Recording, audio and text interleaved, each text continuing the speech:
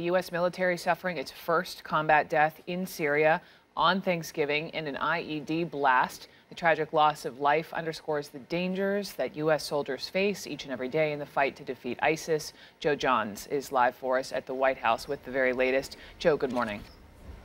Good morning, Brooke. Not a lot of information on this at this time from Central Command. We do know, as you say, a U.S. service member in northern Iraq near Raqqa, northern Syria, I should say, in Raqqa was killed.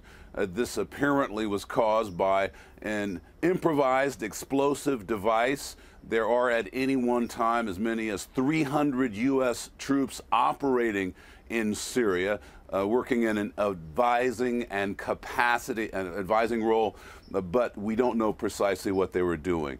Uh, the uh, Defense Secretary Ash Carter did release a statement yesterday that said, in part, I'm deeply saddened by the news on this Thanksgiving Day that one of our brave service members has been killed in Syria while protecting the U.S. from the evil of ISIL. And as you say, Brooke, it uh, points up the danger in Syria even though these people are supposed to be working in an advisory capacity. Back to you.